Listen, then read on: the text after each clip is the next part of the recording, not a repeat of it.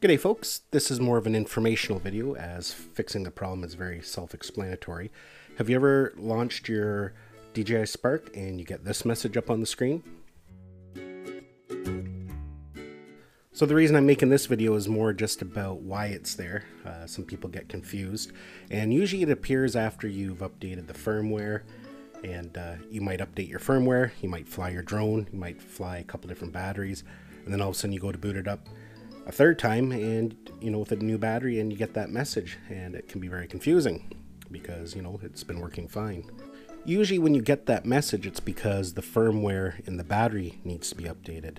And you get that because you know you might have four batteries and you've been flying two batteries or three batteries consistently. You never get around to that fourth one.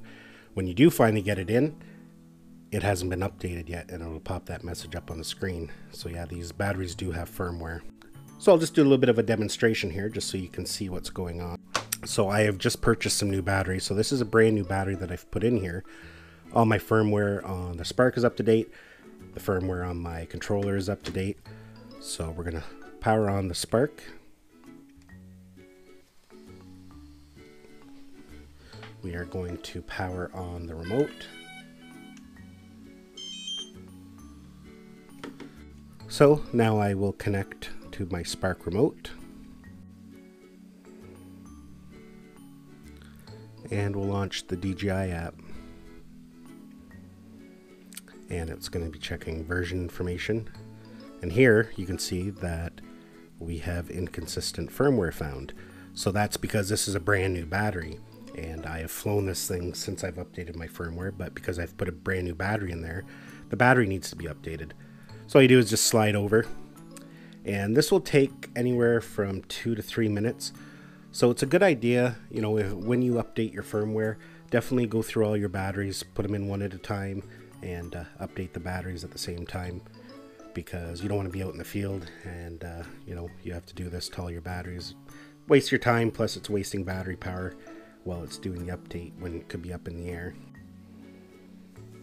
You'll also notice while it's doing the update you'll just have two lights on the Spark. And there's a Spark rebooting. And we should get a notification up top here that the update was successful.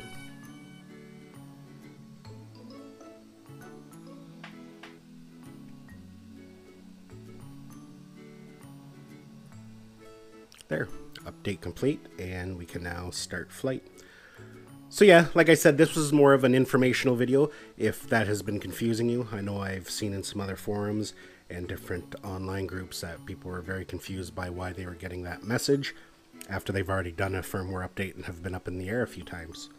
So, thanks for watching. Hopefully you found this video useful. If you were thrown off by that message, don't forget to give this video a thumbs up if you did. Don't forget to subscribe to my channel so you don't miss any of our upcoming videos. And we'll see you in the next one.